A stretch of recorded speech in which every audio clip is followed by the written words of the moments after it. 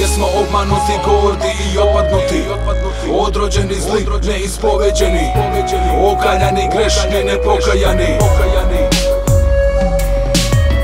Jesmo obmanuti, gordi i opadnuti. Odrođeni zli, neispoveđeni. Okaljani, grešni, nepokajani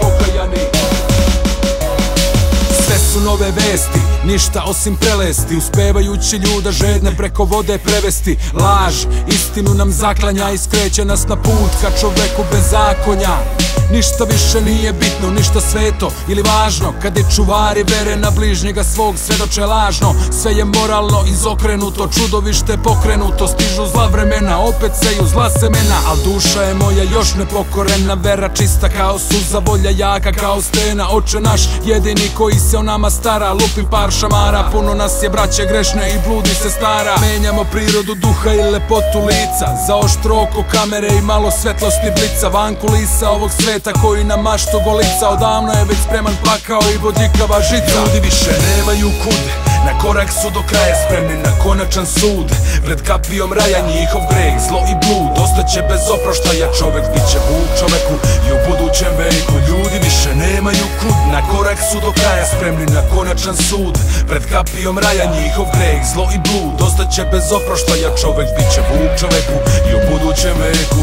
Duhovnim pastirima stada su ogladnela i ljubav mnogih je zauvek ohladnela. Bludom zavodljivih zmija opijena Braća napuštaju djecu i beže od svojih žena. Anđeli jecaju nad grozotom greha u ljudima Koji s kukama u sobstvenim rukama Mirno gledaju krv svoje krvi i telo svoga tela Umoreno u najgorim mukama Ljudi dobrovoljno duše svoje dadoše u robove Oskrnaviše tela i pretvoriše u prazne grobove. Robujemo porocima i strastima Lažnim prorocima i vlastima Okruženi zemaljskim carstvima. A svet što je genijalniji, to je banalniji. Što je slobodniji, to je nemoralniji.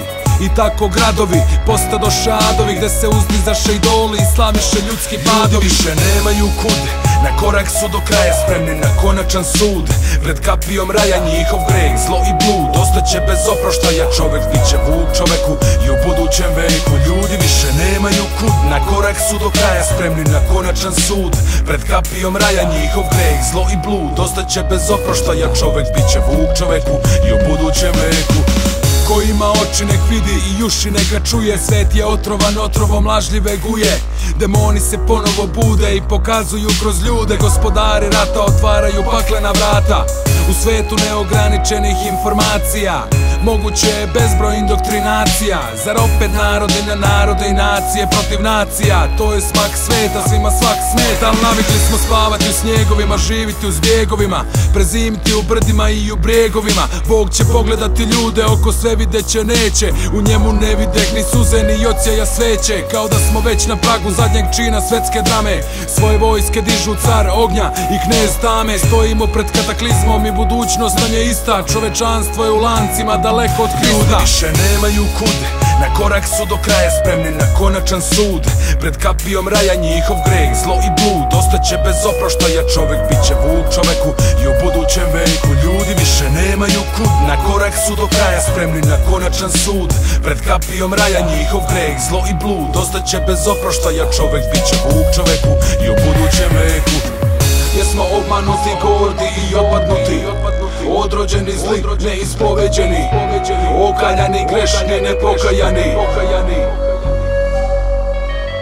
Jesmo obmanuti, gordi i opadnuti.